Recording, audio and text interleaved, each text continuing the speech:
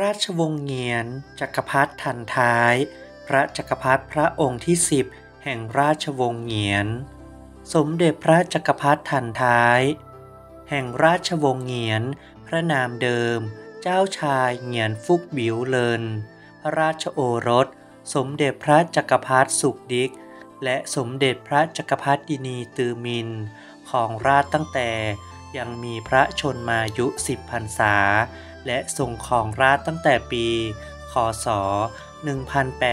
1889 ถึง คศ 1907 เมื่อจักรพรรดิดงคันขึ้นเถริงราชสมบัติ เจ้าชายบิวเลนกับพระมารดาของพระองค์ถูกกักบริเวณไว้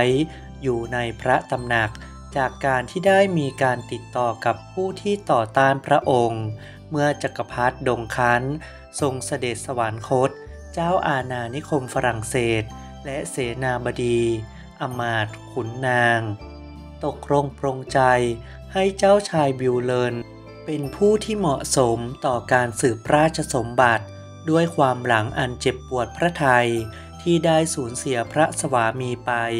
จากการที่ถูกลอบปรงพระชนนั้น ผู้เป็นพระราชชนนีของพระองค์ ได้ทรงกันแสง เมื่อพระราชโอรสของพระองค์ ได้ถูกเชิญออกจากพระตำหนักด้วยความเกรงกลัวว่า พระองค์จะต้องพบกับชะตากรรมอย่างเดียวกับพระราชชนก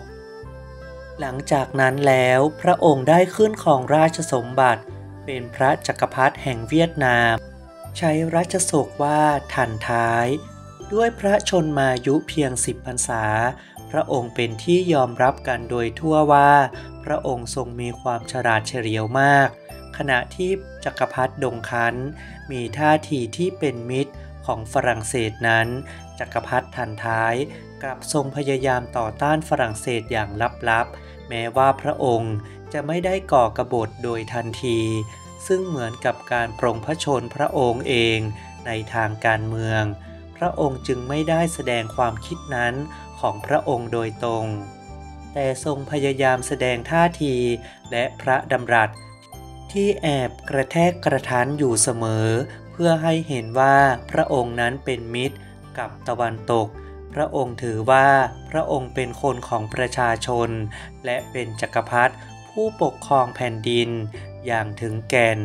พระองค์มักจะเสด็จออกจากพระราชวัง และสวมฉลองพระองค์ อย่างสามัญชน และไต่ถามประชาชน เกี่ยวกับการปกครองอยู่เสมอ พระองค์ยังเป็นจักรพรรดิพระองค์แรกของเวียดนาม ที่ทรงตัดพระเกศาแบบฝรั่ง และทรงเรียนรู้การขับรถ พระองค์ยังสนับสนุนการศึกษาแบบฝรั่งเศส แต่ยังทรงเก็บความรู้สึกอันขมขื่น ต่อการปกครองของฝรั่งเศสในแผ่นดินของพระองค์ นอกจากนี้ พระองค์ยังสนับสนุนโครงการการก่อสร้างเป็นอันมาก และยังทรงสนพระทัยต่อการดำเนินชีวิตประจำวันของราษฎรด้วย เมื่อพระองค์ทรงเสด็จพบกับกลุ่มประชาชน พระองค์จะทำสิ่งที่ประชาชนอเมริกาเรียกว่าการประชุมเมือง ซึ่งพระองค์จะประทับบนเสือกับบรรดาราษฎร ที่เข้าเฝ้าพระองค์ ที่รายล้อมอยู่รอบพระองค์ เพื่อที่พระองค์จะปรึกษาหารือ รับฟังความเห็นของราษฎรอยู่ต่อเนื่องทุกวัน จากนั้นพระจักรพรรดิทรงเริ่มรู้ถึงการที่มีสายของฝรั่งเศส เข้ามาแฝงอยู่ในพระราชวังของพระองค์ พระองค์จึงแกล้งเสียพระสติ เพื่อที่จะไม่ให้มีการตรวจสอบพระองค์ได้ กับบรรดาผู้จับตาของพระองค์ เชื่อว่าพระองค์เสียพระสติอย่างไม่น่าเป็นอันตรายอะไรนัก พระองค์จึงสามารถดำเนินพระราชกรณียกิจได้มากขึ้น เพื่อความเป็นเอกราชของเวียดนาม ขณะที่พระองค์เริ่มรอวันที่จะโค่นล้มอำนาจ อาณานิคมนี้ออกไป พระองค์ได้พยายามเข้าร่วมกับขบวนการต่อต้านฝรั่งเศส แต่ถูกฝรั่งเศสจับได้ และประกาศว่า พระองค์เสียพระสติ และบังคับพระองค์ให้สละราชสมบัติ ปีคศ 1907 พระราชโอรสของพระองค์ขึ้นของราชสมบัติ เป็นสมเด็จพระจักรพรรดิซีเติน พระองค์ถูกในประเทศไปยังเมือง หวงเตาในเวียดนามใต้ และเมื่อพระราชโอรสพยายามก่อกบฏอีก ทั้งสองพระองค์จึงถูกในประเทศไปยังเกาะเรอูเนียง ในปีคศ